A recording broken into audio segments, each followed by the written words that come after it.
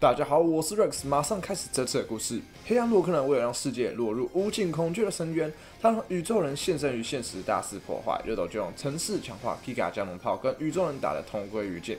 宇宙人登出了，热斗的同步镜片损坏了。由于鸣人跟光博士都在下落，所以热斗只能搭飞机去下落。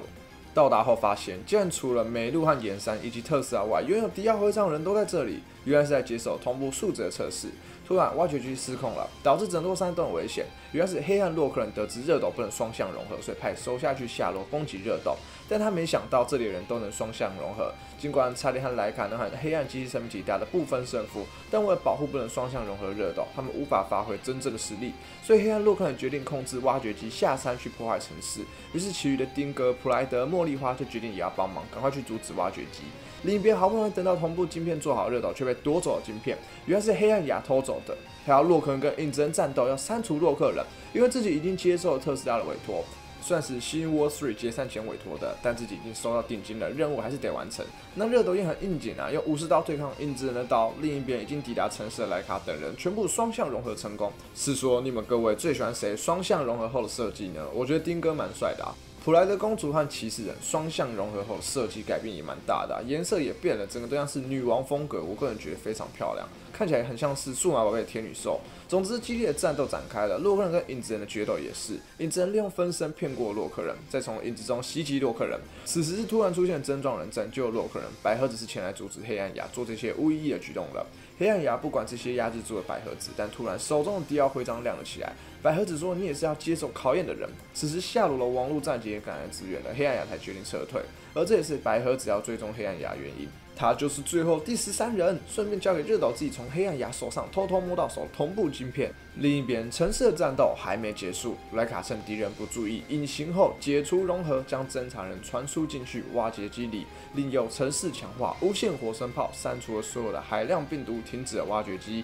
查理使用双重螺旋桨回旋刃，丁哥施展战斧翻滚，普莱德甩出帝国崩击。燃刺发射烧鱼弹，茉莉花扔出化学闪光，把三位黑暗机器生命体打登出啦。莱卡还不忘战斗后关心公主有没有受伤，真是有爱了。突然，迪奥的声音响起了，他告诉拥有自己徽章的人呐，等到你们徽章合而为一时，那股力量是否能够跨越我要带给你们的考验呢？地球人啊，审判日子就要来了。突然，在新 World Three 的据点，黑暗洛克人眼前出现一道身影，竟然是利卡尔博士。他告诉黑暗洛克人，是时候认真点了，游戏时间结束了，拥有徽章的最后一人已经出现了，而黑暗洛克人在他面前竟然异常乖巧。几天后，黑暗雅一如往常要尝试删除洛克人，看到热斗因为贱人抢银行事件在晚上出现，所以决定要今天用手里剑破坏 Pet，让在里面洛克人跟着被删除。但他注意到了杀手迪普卡巴塞，所以停止行动。迪普卡巴塞说：“难得遇到同行，彼此都加油吧。”只有黑暗牙试图在热斗上学时丢苦破坏 Pet，但不管是窗帘被拉上，还是同学们挤成一团，都阻挠了黑暗牙的行动。影子人告诉黑暗牙：“别着急，之后肯定有机会的。”黑暗牙认为：“嗯，不一定呢。”影子人说：“难道你觉得你赢不了光热斗？”黑暗牙说：“不是，但我觉得这世上的一切都在帮忙光热斗。”能够得到运气帮忙也是实力。忍者秘传上有记载，受到好运保护生命的人将夺得天下。但影子仍不相信，认为光热斗这副吊儿郎当的模样啊，不可能成为人上人。突然对话被打断了，是百合子出现了，他要保护热斗，并且试图追断黑暗牙。热斗是你的同伴，不是敌人。但黑暗牙不做委托外战斗就撤退了，意外被百合子攻击到风筝，于是坠落到远处，所以浪费了很多力气才走到曼哈卡里吃饭。就说刚好遇到放学在用餐的热斗，看到佩特就想攻击。热斗说：“洛克人现在不在，诶，他在日暮屋。”于是黑暗雅就继续吃饭。哦，不是，是吃免费烟菜。黑暗雅根本没点餐。热斗问：“你平常接收任务收钱要干嘛？”黑暗雅表示：“钱不是拿来花，而是拿来存。”然后没点餐，其实他在坠落途中，钱包掉了。日斗说：“那我请你吃啊，我刚好有免费餐券。相反的，你不要再接这些不正当工作了，毕竟你可是跟我一样拥有徽章的伙伴呢。”黑暗雅见此，反而直接离开啊。影子人说：“你不要被迷惑了。”黑暗雅回答：“他想要让我懂得什么叫做伙伴吗？希望我未来的主人也能像他一样如此大量。”走到晚上的黑暗雅总算在路上捡回钱包，但也刚好看见了迪普卡巴塞利用贱人抢劫运钞车的场面，认为他想要钱，想到自甘堕落成为了强盗，认为热岛会来，所以埋伏想要破坏 Pet。刚好威利博士出现了，打断了黑暗牙动作。黑暗牙说：“不管是你还是百合子，都细心保护光热斗呢。”威利回答：“反正特斯拉都下落不明的。”现在还去打扰洛克人也没意义吧？黑暗雅表示，接受委托就必须得完成。威利笑了，告诉黑暗雅说这么好听，你就是想要钱吧？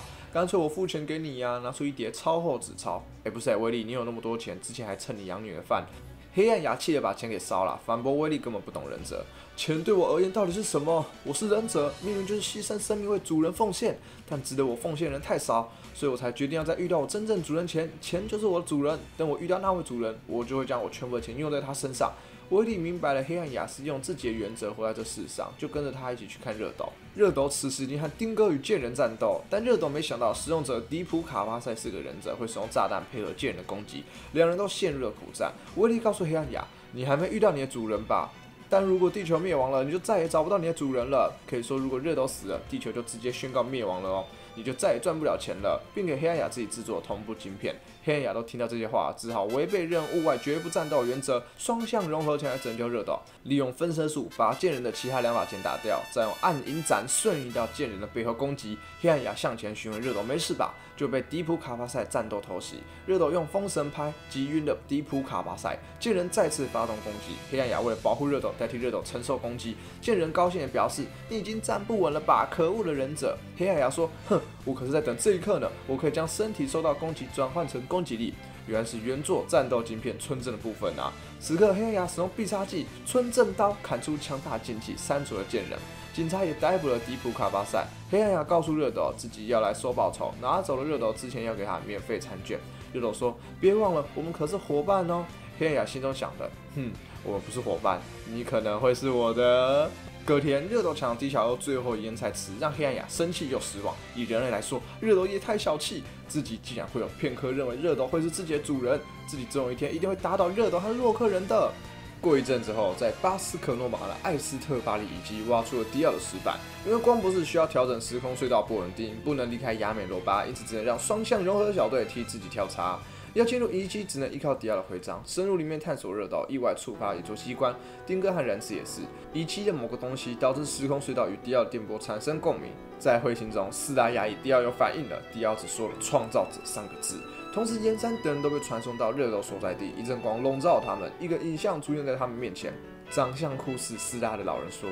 网络领航员是不可能。呃，另一名年轻人说：“我们需要的是能够有效管理混乱的网络世界的存在。”另一个人继续表示：“啊，迪奥可以从太空管理这个世界的网络世界。”连山意识到这些人创造出了迪奥，看见了他们是如何发射迪奥彗星的，看见了他如何毁灭星球了。之前又说：“我们创造的不是管理者，我们做出了电脑世界的神。网络领航员和人类难道无法共同拥有这样的存在吗？”